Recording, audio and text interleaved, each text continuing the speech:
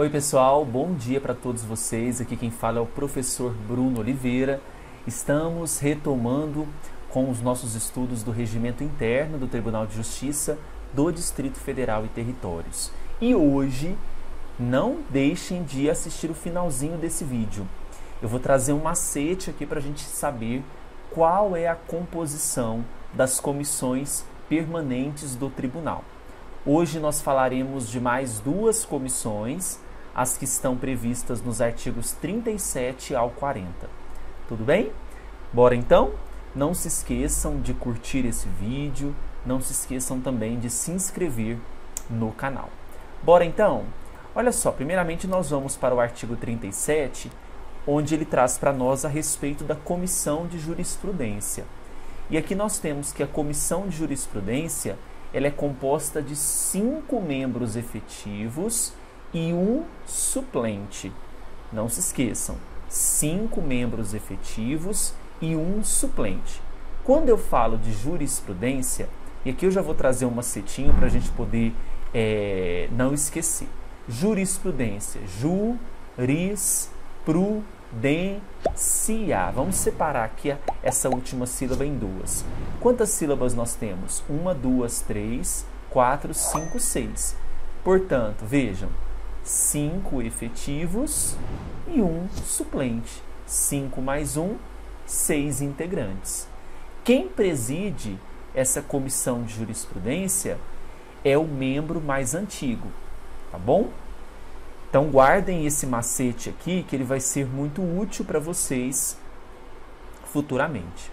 A comissão de jurisprudência terá um representante de cada câmara especializada, ok? Lembrando que nós temos uma quantidade de câmaras cíveis e criminal. Então, quando eu falo câmaras cíveis, eu tenho duas e eu tenho uma criminal. Duas cíveis e uma criminal. Eu vou ter na comissão de jurisprudência um representante de cada uma dessas câmaras, tá bom? Compete à comissão de jurisprudência propor e se manifestar sobre propostas tanto de edição, revisão e cancelamento de súmula, tá bom? Essas são as responsabilidades da comissão de jurisprudência. Pois bem, Visto sobre a comissão de jurisprudência, vamos agora é, partir para a próxima comissão, que é a de estágio probatório.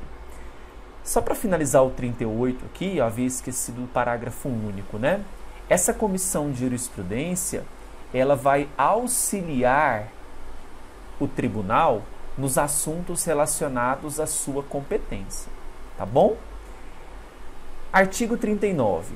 A comissão de acompanhamento de estágio probatório é composta por três membros efetivos, dentre os quais o corregedor, quer dizer que dentro desses três membros eu tenho o corregedor, que preside a comissão de acompanhamento do estágio probatório, e também um suplente. E aqui eu tenho mais um macete. Olha só a palavra probatório. Probatório eu tenho três efetivos mais um suplente. Veja que eu pego a palavrinha, a segunda nessas duas comissões aqui, e a gente observa a separação silábica para a gente ter aqui a, a dica para a composição. Tá? Compete à comissão de acompanhamento do estágio probatório o exame das condições pessoais e do desempenho do juiz de direito substituto durante os dois primeiros anos de exercício do cargo, antes de se tornar, claro, vitalício, então, durante esses dois primeiros anos, é examinada as condições tanto pessoais desse juiz de direito quanto do desempenho deste juiz, ok? Eu falei para vocês que eu ia trazer aqui uma dica. Vamos lá, então, eu vou abrir aqui uma telinha. Olha só, eu tenho três comissões, né?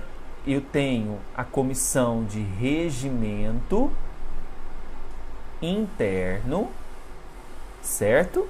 Eu tenho a comissão de jurisprudência,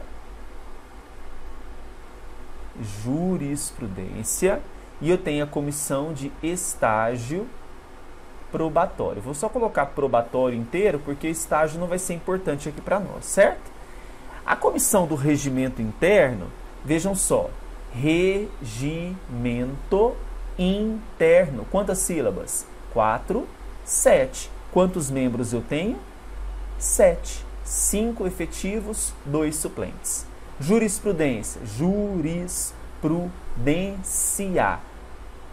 Vejo as primeiras sílabas, deixo só a última. Eu tenho aqui, portanto, cinco efetivos mais um suplente. Estágio probatório, probatório. Três efetivos mais a última sílaba suplente. Assim você não vai errar mais questãozinha de prova.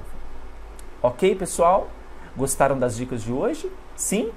Então, bons estudos e continue nos acompanhando com mais informações do regimento interno do Tribunal de Justiça. Até mais, um grande abraço.